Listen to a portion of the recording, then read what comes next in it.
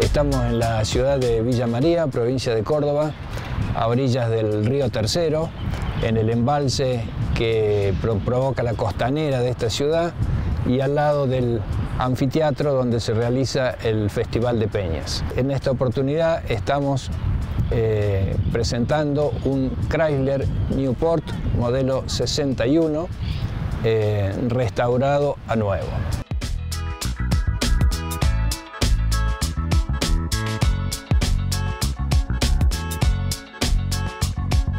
La historia de este auto este, es larga, la compré en un desarmadero, estaba destruido, sin parabrisas, sin vidrio atrás, 10 años estuvo abajo de un nogal, tenía nueces hasta en la calefacción por todos lados. Este, y bueno, nos pusimos poco a poco y lo restauramos. La idea era hacerlo para cuando se casara mi hija y bueno, lo terminamos y y efectivamente estuvo para cuando, para cuando ella se casó, se casó con este auto. Como les dije, es un Newport, modelo hardtop, o sea, no tiene parantes. Ustedes ven que cuando se bajan los vidrios queda todo abierto como si fuera coupé. Eh, tiene un motor V8, 361 eh, pulgadas cúbicas. Eh, venía equipado de fábrica, aire acondicionado, caja automática, botonera, eh, espejo motriz, eh, cierre centralizado, vidrios eléctricos, todo eso de fábrica.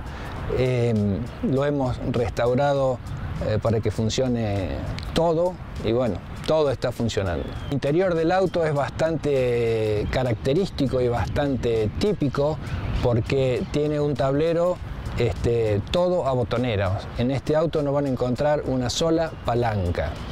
Las eh, cajas se comanda a botonera, el aire acondicionado a botonera, este, el guiño es este, en el tablero, no tiene ninguna palanca, ni en el volante ni en el, torpedo. Eh, tiene un sistema de iluminación bastante único que eh, funciona con 300 volts y no tiene lámpara, se pone incandescente. Habría que verlo de noche para apreciarlo realmente como es. Se ilumina todos los números, las agujas, este, todo el tablero solamente eh, sin focos, o sea, brilla solo.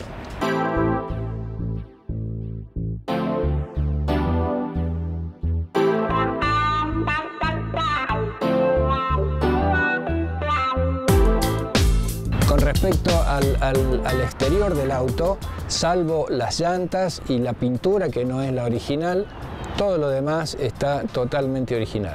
las llantas originales este, eran 14 pulgadas, eh, fea, con una, taza, con una taza que no decía nada, y bueno, optamos por ponerle esta. De todos modos, las llantas originales están si algún día se las queremos poner.